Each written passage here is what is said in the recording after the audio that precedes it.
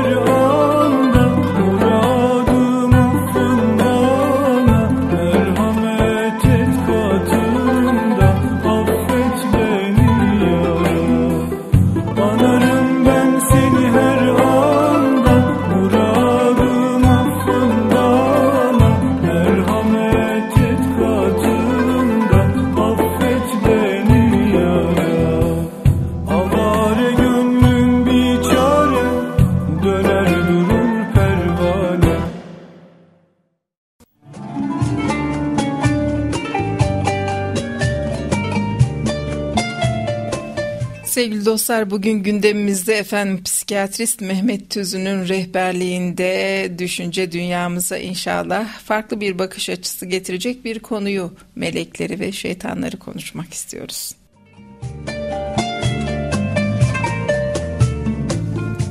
Toplum olarak biz her şeyi siyah beyaz mantığıyla değerlendiriyoruz.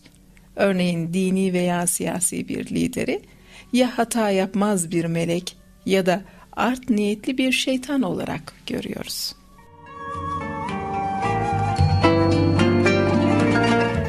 Böylece dostlar çoğu olayı çizgi film basitliğini indirgiyoruz efendim. Bilirsiniz çizgi filmlerde sadece iyiler ve kötüler vardır. İyiler asla yanlış yapmaz. Tuvalete bile gitmezler. Kötülerse tam bir canavardırlar ve öz çocuklarını bile sevmezler.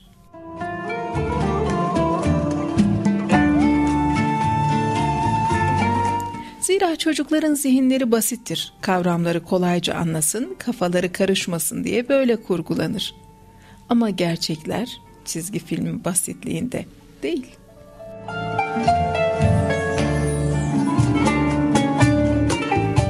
Peki neden çoğumuz melek şeytan sınıflamasına bayılıyoruz dostlar?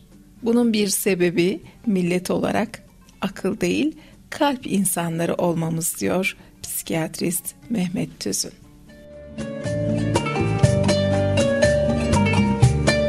Zira akıl orta yollu değerlendirmeler yapabiliyor. Bir insan için şu huyu doğru ama bu huyu yanlış diyebilir. Oysa kalp iki kutuplu. Sevgi ve nefret. Birisi için ya onu seviyorum denir ya da onu sevmiyorum.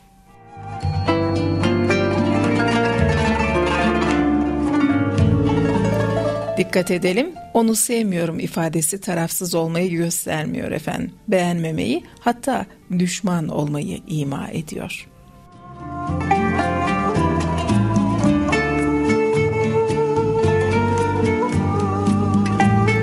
İşte efendim biz kalbimizle hareket ettiğimiz için siyah beyaz melek şeytan ikileminde kalıyoruz genellikle. Ve eldeki verilerin bazısını aşırı vurguluyor, bazı verileri ise görmezden geliyoruz.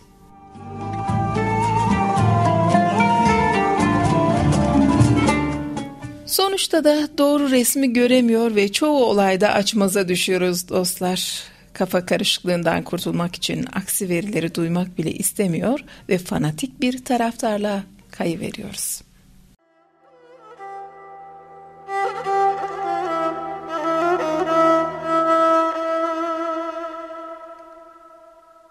Sevdim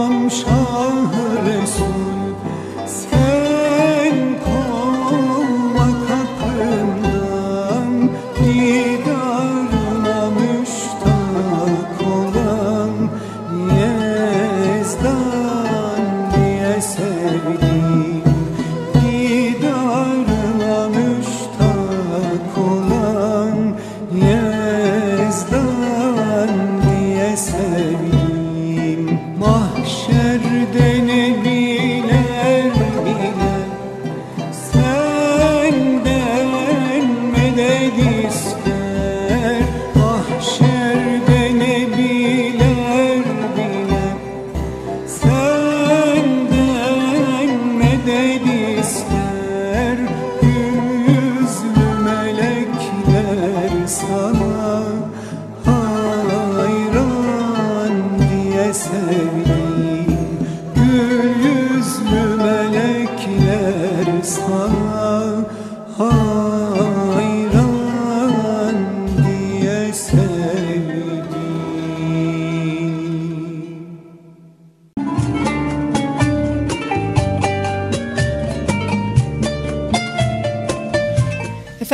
bugün gündemimizde dedik e, Mehmet Tüzün rehberlik ediyor bize psikiyatrist ve melekler ve şeytanlar iki kutbu konuşuyoruz. Toplum olarak biz her şeyi siyah beyaz görüyoruz acaba neden diye sorguladık ve dedik ki e, özellikle bu sınıflamaya bayılıyoruz. Millet olarak akıl değil kalp insanları olmamızdan kaynaklanıyor. Çizgi film basitliğinde görmekten hoşlanıyoruz her şeyi dedik. Sevgili dostlar kimse oysa ne melek ne de şeytan ne simsiyah ne de bembeyaz. Hepimiz hataları ve sevaplarıyla gri'nin değişik tonlarıyız efendim. Hatasızlık sadece peygamberlere has.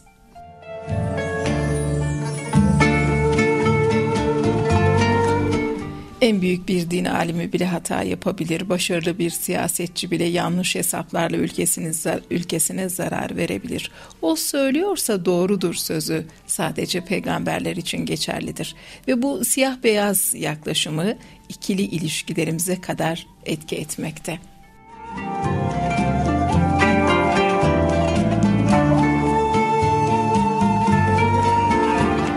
Ve Mehmet Tüzün bir psikiyatrist olarak karşılaştığı bir vakadan söz ediyor. Bir hastam diyor karısını terk etmişti. Eskiden büyük bir aşkla sevdiğinin sonra hayli ahlaksız olduğunu fark ettiğini anlattı.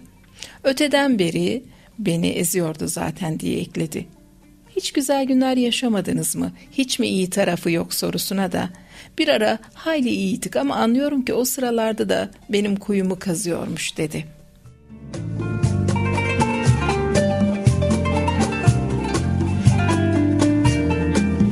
İçimden yakında geri dönerse şaşırmam dedim. Zira yorumları mantıklı değildi. İyileri görmüyor, sadece kötüleri düşünüyordu. Bu çarpık mantıkla uzun süre gidemezdi.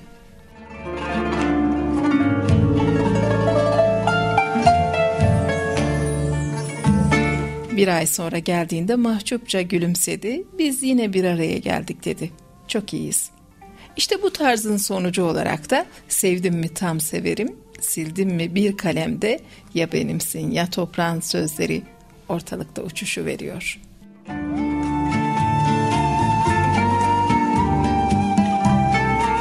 Sevgili dostlar bunun psikolojik temeli hayatın ilk yıllarına dayanıyor efendim. İnkar denilen savunma mekanizması ile ilişkili. Örneğin bir çocuk anne babasını kusursuz görme çağlarındayken onların ciddi yanlışlarıyla karşılaşırsa ve bu gördüğü lekeleri kafasındaki kusursuz insan figürüne oturtamazsa zihninin bir köşesine atar ve yok saymaya çalışır.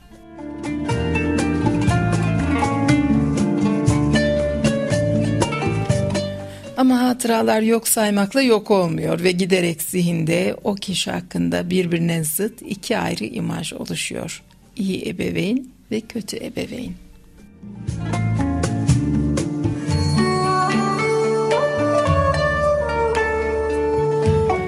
Eğer işler yolunda ise dostlar kötü imaj yok sayılıyor. Benim annem bir melek deniyor. Ama bir pürüz çıktığı an bilinç altında bekleyen kötü imaj ortaya çıkıyor ve o kişi tümden olumsuz olarak yaftalanıyor. Ve bu değişimler tüm insan ilişkilerinde ömür boyu sürüyor. Hatta bazen de zihin bölünmesi anlamına gelen şizofreni hastalığının gelişmesine zemin hazırlayabiliyor.